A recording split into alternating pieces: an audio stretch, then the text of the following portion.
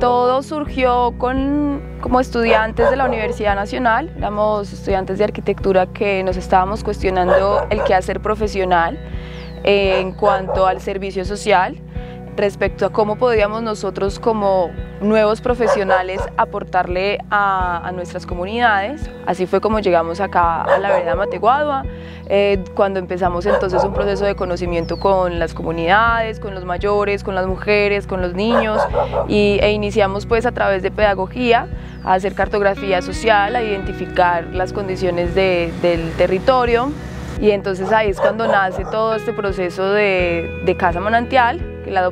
bautizamos un poco de tiempo después, porque nos encontramos en el corregimiento El Manantial, también porque la intención es que sea una casa cultural autogestionada, una casa cultural independiente, no como dentro del municipio, donde ocurran entonces diferentes actividades para la comunidad.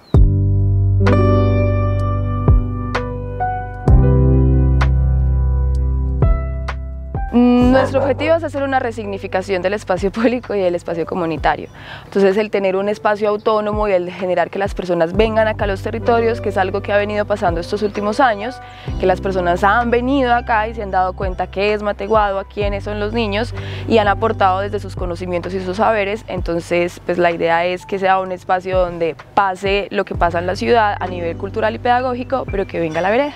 ¿Y qué hemos logrado? Hemos logrado resignificar un poco, hemos hecho unas adecuaciones, hemos organizado muros, taluds, eh, vigas canales, organizamos el techo de la cubierta, el techo que lo hicimos en Guadua,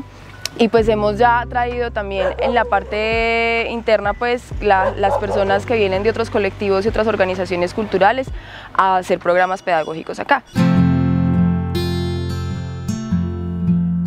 Estamos abriendo escenarios, estamos abriendo escenarios culturales populares, estamos diciéndole a la gente que se apropie de estos espacios, que no siempre tienen que esperar a que un alcalde, que no tienen que esperar siempre a que alguien venga y les, y les brinde, sino que entre ellos mismos también se pueden juntar, que los objetivos del desarrollo eh, van marcados en su territorio y ellos, él mismo habla de cuáles son sus mejoras o qué es lo que necesita, cuáles son sus características. Entonces nosotros hemos aprendido a, hacer, a observar y a identificar cómo esos objetivos se pueden adaptar entonces al territorio y cómo contribuimos desde, desde esa creación pues como colectiva. En realidad pues el concepto de replicabilidad sería para un líder social, un líder cultural, de su territorio que diga eh, cómo hago para generar un espacio entre mujeres, de qué hablamos. Entonces con su kit lo que hay hay unos instructivos y hay unas herramientas, entonces te va a generar unas prácticas y unas metodologías para que puedas empezar tu propio círculo de mujeres.